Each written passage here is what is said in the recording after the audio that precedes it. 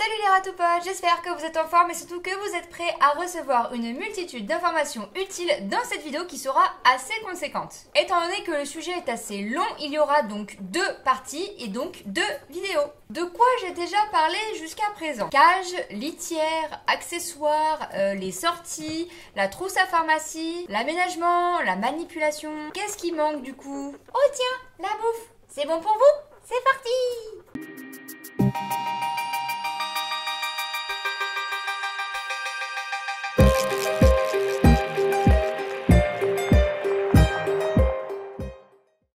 Force, on commence à connaître les rats, on sait qu'ils sont super mignons, qu'ils sont super gentils, qu'ils sont hyper affectifs, qu'ils sont très intelligents, mais est-ce qu'on sait aussi qu'ils sont gourmands? Ouais, quand on a des rats, on sait qu'ils sont gourmands. Quoi de mieux donc pour leur faire plaisir qu'un bon petit repas et des petites friandises? Mais attention, plusieurs choses sont à savoir pour que ce petit plaisir ne se transforme pas en catastrophe. Les rats sont des animaux omnivores à tendance granivore opportuniste. Voilà, débrouillez-vous avec ça. En gros, ce sont des animaux qui mangent absolument de tout, principalement des graines, et surtout qui profitent de ce qui leur tombe sous le nez pour casser la croûte. C'est d'ailleurs pour ça qu'on retrouve des rats sauvages très souvent dans des poubelles ou dans des lieux où il y a beaucoup de nourriture. Ils mangent tout simplement de tout. Coucou Pink Viande, poisson, graines, plantes, œufs, fruits, légumes, tout y passe. Mais comme pour toute espèce, même pour nous d'ailleurs, il y a des interdits et il ne faut pas abuser des bonnes choses pour rester en forme et garder la ligne. Même si vos rats mangent de tout, vous ne devez pas leur donner n'importe quoi. Pour nos rats domestiques, c'est quand même très important qu'ils aient un bon équilibre alimentaire pour éviter tout ce qui est carence, mais aussi les excès pour qu'ils restent bien dans leurs pattes. Bien sûr, comme pour nous, ils n'ont pas les mêmes besoins énergétiques selon leur âge et leur activité. Pour un raton, en termes de besoins énergétiques, on compte environ 16% de protéines et 6% de matière grasse. Il faut dire qu'ils ont besoin d'énergie avec toutes leurs bêtises et leur hyperactivité légendaire. Pour les rats adultes qui ont des sorties quotidiennes avec une belle ligne, on conseille 14% de protéines et 4% de matière grasse. Et pour les petits vieux, on part plutôt sur du 12% de protéines et 3-4% de matière grasse. Ces taux sont juste une base. Suivant votre race, sa santé, son activité, il faudra bien entendu adapter sa nourriture. Par exemple, une rate allaitante ou gestante, même si elle est adulte, aura les mêmes besoins énergétiques qu'un raton, étant donné qu'elle dépense beaucoup plus d'énergie pour s'occuper des ratons et aussi en production de lait. Autre exemple, pour un rat adulte en surpoids, on préconisera plutôt une alimentation adaptée aux petits vieux, étant donné que c'est beaucoup moins riche, histoire de lui faire perdre quelques grammes. Maintenant qu'on connaît les bases pour l'alimentation des rats, quelle est la meilleure alimentation pour eux?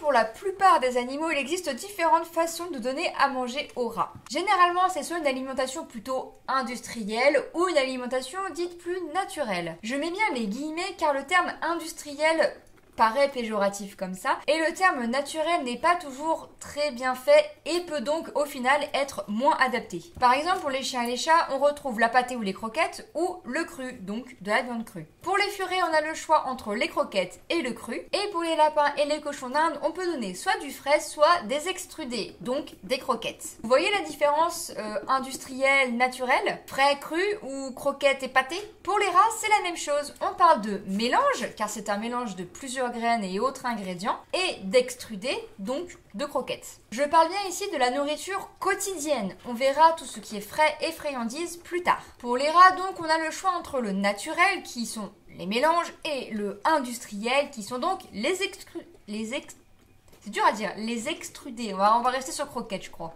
Alors, quelques avantages et inconvénients pour l'un comme pour l'autre. Pour les mélanges, par exemple, les avantages, c'est que le contenu est visible et donc on sait ce qu'il y a dedans. On peut aussi le réadapter ou le rééquilibrer selon les rats que l'on a et leurs besoins. Et il y a aussi généralement une bonne conservation. En termes d'inconvénients pour les mélanges, c'est qu'il y a très souvent du tri. C'est-à-dire que les rats mangent que ce qu'ils aiment, au risque du coup d'avoir quelques carences. Il y a aussi beaucoup de restes, donc euh, ce que j'appelle reste, c'est tout ce qui est les cosses et les choses que les rats ne peuvent pas manger. Et il peut aussi malheureusement être mal digéré selon ce qu'il y a dedans. Pour les extrudés ou les croquettes, les avantages sont très souvent qu'il n'y a pas de tri, contrairement au mélange, étant donné que c'est juste un seul bloc. Étant donné que les croquettes sont juste des blocs, ils sont obligés de ronger, ce qui est très très bon pour leurs dents. Et pareil, du coup, pas de saleté, c'est-à-dire pas de cosse dans tous les sens, pas de miettes. En termes d'inconvénients pour les extrudés, c'est que c'est pas forcément très appétant.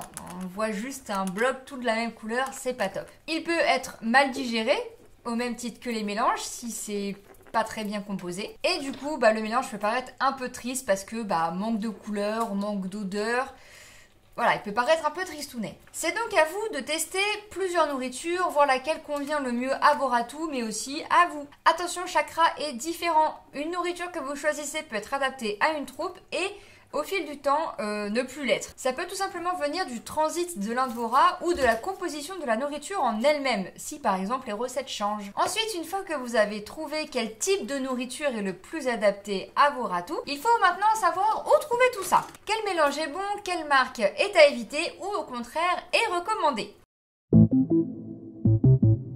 On va commencer par les nourritures dites mauvaises. Comme ça, c'est terminé, c'est bouclé et on termine par ce qui est bon pour mieux retenir. Comme je le disais, les rats sont omnivores à tendance granivore opportuniste. Il est donc très important que leur alimentation soit variée et équilibrée. Que ce soit pour les mélanges maison ou les extrudés, il y a du bon et du moins bon. Mais ne vous en faites pas, si en regardant cette vidéo vous vous rendez compte que vous donnez quelque chose qui n'est pas bon pour vos ratous, c'est pas grave, du moment que vous changez rapidement pour quelque chose de meilleur. Généralement, euh, la plupart des mélanges croquettes que l'on trouve dans le commerce, dans les animaleries, c'est vraiment pas ce qu'on trouve de meilleur. Je dis bien généralement. Tout simplement parce qu'elles sont souvent beaucoup trop riches, que ce soit en graisse, en protéines ou en sucre. Pour tous les exemples que je vais donner, on considère qu'on parle de rats adultes euh, qui ont des sorties quotidiennes, qui sont en forme, qui ont une très bonne santé et donc qui ont un besoin énergétique de 14% de protéines et 4% de matière grasse. Donc, le plus courant qu'on trouve, c'est généralement les amiformes. Et là, je vous vois tous derrière votre écran. Oh non, j'ai donné des amiformes Cette nourriture est vraiment extrêmement répandue et pourtant c'est loin d'être la meilleure. Déjà pour commencer, elle est considérée alimentation rat et souris. Sachant que ces deux espèces n'ont pas tout à fait les mêmes besoins, on part mal. Ensuite, on voit que les protéines sont à 18% et euh, les matières grasses à seulement 2%. Autant vous dire qu'on n'est pas vraiment dans la norme que l'on préconise. Dans la composition, on remarque aussi des produits laitiers qui ne sont vraiment pas recommandés pour les rats. Conclusion, les amiformes ne sont pas adaptés Ensuite, on peut parler des Vitacraft. C'est la deuxième marque que l'on trouve très très souvent. Malheureusement, comme avec l'Almiform, ils ne sont pas considérés comme marque équilibrée et recommandée. Quand on regarde la composition, on est sur du 19,5% de protéines. C'est beaucoup trop riche. J'ai pas trouvé les taux de matière grasse, mais voilà, quand on voit déjà le taux de protéines, on sait que ce n'est pas adapté non plus. Une autre marque qui n'est pas spécialement adaptée mais que j'avoue ne pas connaître, c'est la marque Zolux. On compte environ 4% de matière grasse, donc là on est ok, il n'y a pas de souci, mais seulement 10% de protéines, ce qui est donc loin d'être suffisant euh, pour un rat qui a des sorties quotidiennes et qui bouge beaucoup. En plus, euh, ce mélange est considéré pour rat et pour souris comme les amiformes. Et du coup, bah, pas vraiment adapté vu qu'ils n'ont pas les mêmes besoins. La marque Zolux, donc, ça dégage aussi. Enfin bref, la plupart des mélanges trouvés euh, en animalerie, en grande surface ou sur euh, les sites très connus euh, internet ne sont généralement pas forcément adaptés. Souvent trop gras et beaucoup trop riches et malheureusement pas assez variés. Du coup, pourquoi pas faire ses propres mélanges? Comme ça au moins on sait ce qu'il y a dedans, les taux qu'il y a et d'où viennent nos aliments. Détrompez-vous Les mélanges maison ne sont pas si simples. C'est beaucoup plus complexe que ce qu'on pourrait croire. Il faut vraiment connaître et être sûr de l'origine des aliments que vous choisissez. Il faut savoir calculer correctement les taux, tout en ayant une certaine variété des aliments, histoire que le mélange ne paraisse pas monotone. Savoir bien équilibrer ces mélanges n'est pas une mince affaire. C'est fini là Vous faites grave du bruit vous gratter comme des... je sais pas quoi. C'est très souvent que l'on voit des mélanges maison pas du tout adaptés et équilibrés. Il existe pourtant des calculateurs pour vous aider, mais le mieux est de toujours avoir une base que vous rééquilibrez et réadaptez vous-même. Il y a aussi des recettes que des ratophiles partagent avec grand plaisir, mais comprenez bien que ce que les uns utilisent ne sont pas forcément la même chose que vous allez utiliser. C'est-à-dire qu'il n'y aura pas forcément les mêmes taux, il n'y aura pas forcément les mêmes origines, et du coup ce ne sera pas vraiment le même mélange. Personnellement, je n'ai jamais fait de mélange maison. Je trouve que c'est beaucoup trop compliqué et j'avoue que pour le moment, j'ai un petit peu pas trop la motive de m'y pencher sérieusement. Un jour, peut-être, ça peut être sympa à faire, mais pas toute seule, ça c'est sûr. Donc, qu'est-ce qu'on peut donner à Nora histoire qu'il ne meure pas de faim? Parce que après tout, c'est ça aussi la base. Et bah tout simplement des mélanges et extrudés, mais adaptés cette fois. En vrai, il n'en existe pas tant que ça. Dans les extrudés adaptés, on remarque les suprêmes sciences sélectives, autrement appelées SSS ou 3S dans le jargon ratoufil. C'est les croquettes que l'on trouve le plus souvent dans le monde ratoufil car elles sont adaptées et faciles à trouver.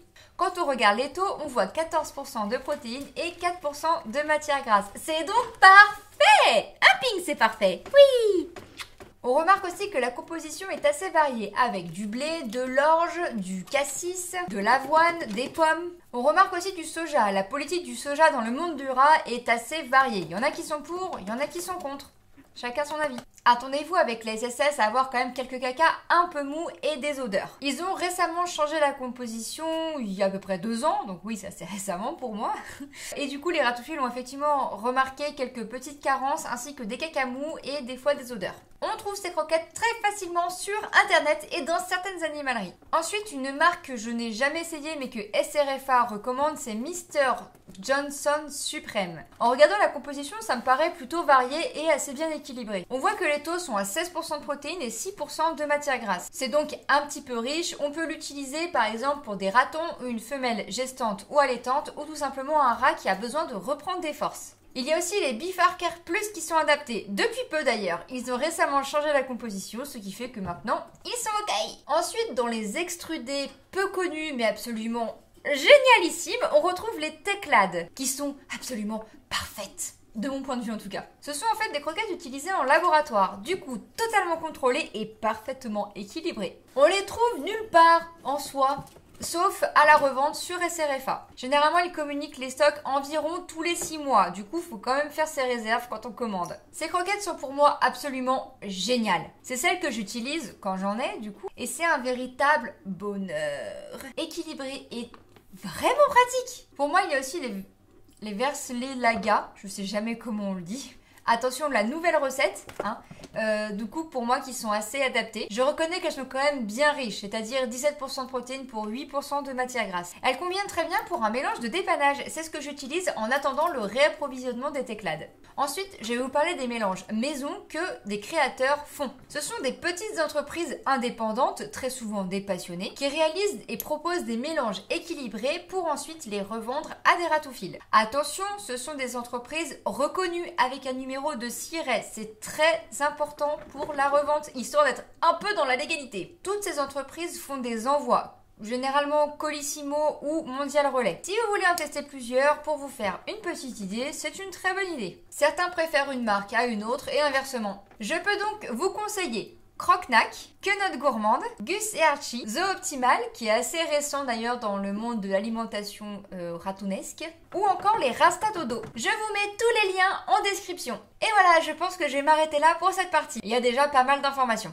Rappelez-vous que la nourriture est très importante pour leur santé et leur équilibre. N'hésitez pas à tester plusieurs mélanges ou croquettes afin de trouver ce qui correspond le mieux à vos boules de poils mais aussi à vous en termes de praticité, de coût, etc. Attention, quand vous décidez de changer de nourriture, pensez bien à faire une transition, c'est-à-dire changer la nourriture progressivement, faire un basculer en gros de l'ancienne nourriture à la nouvelle nourriture du coup de faire une transition sur environ une semaine, histoire que euh, le système digestif, le transit, s'habitue à la nouvelle nourriture. Sinon, vous allez vous retrouver avec plein de caca mou qui pue partout dans la cage. Ne vous en faites pas si vous n'avez pas quelque chose de bon pour le moment, l'important c'est de changer rapidement pour quelque chose de meilleur. Et voilà, c'est tout pour cette fois, j'espère que cette vidéo vous aura appris des choses et surtout qu'elle vous aura plu. N'hésitez surtout pas à mettre un j'aime ou un commentaire si le cœur vous en dit et à vous abonner en activant la petite cloche pour ne plus manquer aucun des vidéos. Je vous dis à bientôt dans la deuxième partie qui parlera du frais, des extras et des interdits ou dans une autre vidéo de votre choix. Merci à tous d'avoir regardé,